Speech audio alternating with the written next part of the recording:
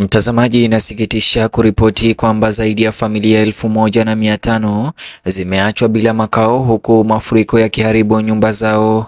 Kulingana na ripoti, mto Nyando umepasuka na kufagia majengo haya na kuzamisha mengi mengine. Cha kusikitisha ni kwamba watu kadhaa wamepoteza maisha kutokana na tukio hilo la kusikitisha. Kulingana na ripoti hiyo, familia hizi zote zinapaswa kutafuta mahali papya pa kuishi kwa nyumba zao tayari zimekumbwa na mafuriko haya.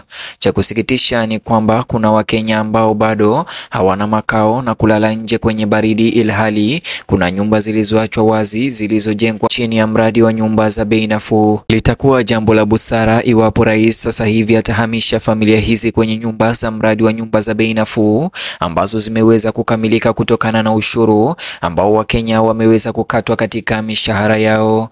Je, mtazamaji, mtazamo wako hapa ni upi? Je, unadhani ni jambo la busara kwa rais kuweza kuchukua nyumba hizi za bei nafuu na kuweza kuwaweka wakazi ama familia hizi elfu moja na mia tano ambazo zimeweza kupoteza makazi na mafuriko? Na kuachia uwanja huu wa comment section, like video hii kisha usubscribe kwa taarifa zaidi. Hii ni Simulizi Media.